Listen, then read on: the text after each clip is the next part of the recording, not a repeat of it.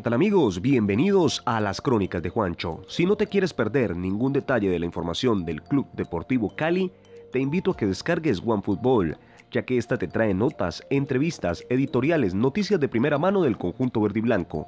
Te recuerdo que toda la información llega gracias a OneFootball. La aplicación es gratis, está disponible para Android y para iOS. Link de descarga en la descripción de este video porque los hinchas azucareros utilizan OneFootball. Bueno amigos, día 15 de trabajo para el conjunto verde y blanco.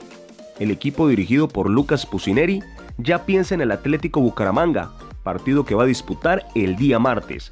No se asuste si usted no ve que el Deportivo Cali juega el día sábado o el día domingo. Este Deportivo Cali va a jugar su compromiso ante el cuadro de Bucaramanga, como le digo, el día martes. Una de las novedades es la incursión de Pablo Mina, ya que el arquero Camilo Vargas, quien era el capitán del Deportivo Cali y uno de los referentes, fue vendido al fútbol de México al equipo del Atlas.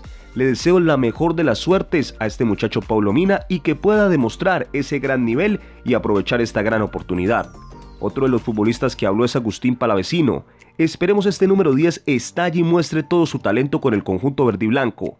Esperemos los jugadores como Kevin Velasco, David Caicedo le aporten al conjunto verde y blanco por las bandas, porque es aquí donde se necesita que estos jugadores se toquen y se echen el equipo al hombro.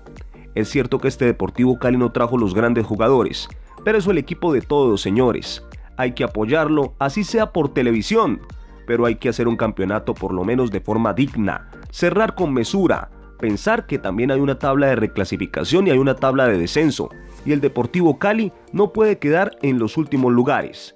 No le estoy exigiendo que quede de primero, que haga lo que pueda con esta nómina que tiene, pero que cierre con mesura y que cierre pensando en un campeonato con cosas a futuro que le puedan servir a un equipo que esté pensando en ser campeón, porque sin refuerzos es la verdad bastante complicado.